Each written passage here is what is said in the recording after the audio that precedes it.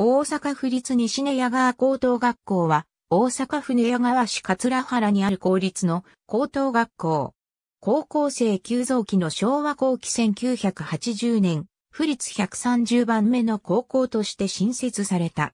1971年誕生の黒田革新不正が高校入試で15の春は泣かせない政策として大幅に府立高校を新設。1973年度だけで開校13校が計画され、各自治体が地元誘致運動を進める中、130番目の府立高校として1980年に開校した。開校当時、校舎建設が間に合わず、プレハブ校舎でスタートとなる。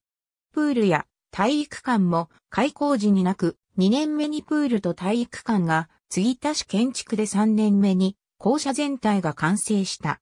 教育課程は全日制課程で普通科を設置。1991年にカナダオンタリオ州オークビル市ブレークロック高校と姉妹校の締結している。交渉は自立を意味する五角形を2個組み合わせ、協調を表現したデザインに、公明の英語表記の頭文字であり、新種の気概を象徴する N をあしらっている。校舎は半世紀以上前の開校時のままで、旧耐震基準の既存不適格で、震度6強の揺れで倒壊の恐れがある。このため2007年から改修を行った。ありがとうございます。